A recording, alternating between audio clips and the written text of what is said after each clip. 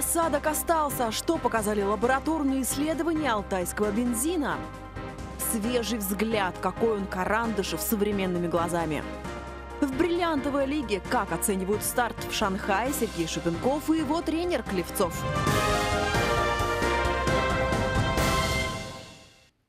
Новостями к этому часу Елена Кузовкина. Здравствуйте. В бензине пытались найти бензин. Чем заправляют водители края свои авто, решили выяснить специалисты крупной нефтяной компании. Экспресс-тест провели прямо на одной из автозаправок Барнаула. Вот я где заправляюсь, короче, я взял основных две э, компании, которые известны всем. И взял, короче, две заправки еще, которые хотел проверить. Где я пару раз заправлялся, у меня машина дергается. Ну, короче, вот мне на некоторых не заправили меня. Ну, просто убегают, короче, закрыли сейчас перед лицом окно, а вот две заправили.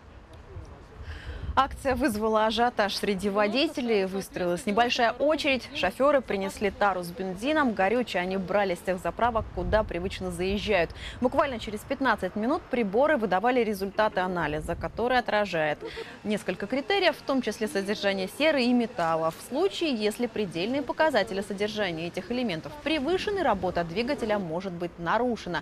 К удивлению участников эксперимента, среди принесенных проб некачественного бензина не оказалось оказалось. Становое число 52,1 при норме не менее 51. Вспышка 56 при норме не ниже 55.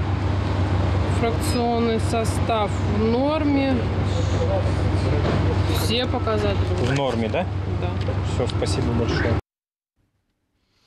В Барнауле начались отключения горячей воды. Сегодняшнего дня это коснулось жителей домов, относящихся к контуру ТЭЦ-3, сообщают аргументы и факты Алтай. О чем еще пишут на страницах своих изданий журналисты сибирской медиагруппы, смотрите в обзоре. Без отключения воды не обойтись, несмотря на то, что горожанам ситуация доставляет дискомфорт. Это слова директора теплосетевого объединения СГК в Барнауле Александра Гросса. Испытание сетей на прочность позволяет выявить их дефекты и слабые места, чтобы в дальнейшем в ходе ремонтной кампании устранить. Конечно, попытки проводить диагностику иными способами предпринимают, утверждает Гросс. Однако на данный момент опрессовка самый эффективный. Так вот, горячей воды по контуру ТЭЦ-3 не будет до 6 июня. Именно до этого времени планируют завершить ремонт сетей, на которых дефекты обнаружат, сообщают корреспонденты аргументов и фактов. Поддел протокол собрания жильцов. Политсибру пишет о руководителе Барнаульской управляющей компании ДКХ. Оказывается, жители неоднократно жаловались в госинспекцию региона на грубость сотрудников, а также плохую работу ООО ДКХ. Все попытки сменить нерадивого управленца завершались неудачей. Компания всячески этому препятствовала. Лишь после того, как госинспекция проверила протоколы общих собраний, выяснилось, что документы составлены с нарушениями. Руководитель ДКХ и жители домов предупреждены об уголовной ответственности за подделку протокола общего собрания. Вторая волна паводка может пойти по сценарию 2014 года, говорят синоптики и пишут корреспонденты информагентства «Банкфакс». Напоминают, в 2014-м территория Сибири пережила сильнейшее за последние 50 лет наводнение. В этом году снега в горах еще много, его таяние придется на конец мая, начало июня. Подтопление возможно в пригородах Барнаула, Биска, Новоалтайска, Камня-на-Оби и более чем в 125 населенных пунктах региона. Между тем, жители края еще не отошли от первой волны и по-прежнему ждут компенсации от федеральных властей. Татьяна Голубева, наши новости.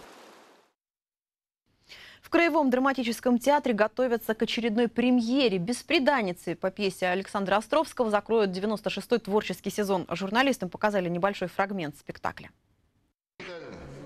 Виктор Осипов в спектакле исполняет одну из главных ролей. Он Юлий Капитоныч Карандышев, молодой небогатый чиновник. Деньги и любовь – основные темы «Беспреданницы». По мнению артиста, пьеса Островского, написанная 140 лет назад, будет понятна и современному зрителю. Карандашев, в свою очередь, он хочет быть идеалом мужчины. Он примерно представляет, что значит мужчина, как он должен себя вести. И он начинает примерять на себя эти роли, но он все время промахивается, и он выглядит нелепо. Режиссер этого спектакля Максим Астафьев. На сцене драматического театра он уже поставил Бунинские аллеи, Пушкинского смотрителя и Ерофеевских петушков. «Беспреданница» по пьесе Островского – это классика, переведенная на современность. Я вчера от Сергея Сергеевича телеграмму получил. Да вот обманул меня Сергей Сергеевич не приехал. Я у него пароход покупаю. Текст произведения не изменен, а вот сама эпоха претерпела стилизацию. Это видно даже по костюмам. Первый показ «Беспреданницы» 15 мая. Спектакль откроет парад премьер этого сезона, и драма уйдет на летние каникулы. Елена Кузовкина, Александр Антропов. Наши новости. Не все прошло идеально, но лучшее начало сезона состоялось. Так Сергей Шубенков прокомментировал первый свой старт в этом году. В китайском Шанхае наш земляк финишировал третьим в коммерческом турнире «Бриллиантовая лига». Обратите внимание на шестую дорожку, по ней бежит Сергей, рядом в белой майке действующий олимпийский чемпион, чемпион мира Амар Маклеод. В итоге именно Ямайт займет первую позицию в забеге. Вторым прибежит испанец Орландо Артега. После них наш Сергей. Время барнаульца 13,27 секунды. Для сравнения, ровно год назад в том же Шанхае Шубенков был всего лишь пятым. Так что это действительно лучший старт барьериста за последние годы. С этим согласен и его личный тренер Сергей Клевцов самом деле по первому старту никогда выводов делать нельзя. И это чисто математически, да, первый старт быстрее, чем в прошлом году. Нет, он даже быстрее, чем когда бы то ни было в карьере. Но дальнейшее все покажет. А так, по сути, нормальная работа этому предшествовала. Все же не сваливается там с потолка. Мы нормально тренировались, есть подход определенный. Поэтому пока, да, можно быть скорее удовлетворенным. Впереди тренировки в Барнауле и новый этап бриллиантовой лиги. Меньше чем через две недели Шубенков отправится в американский Юдж. И в завершении выпуска прогноз погоды. Спонсор прогноза погоды – компания «Эвалар». А какой глицин принимаете вы?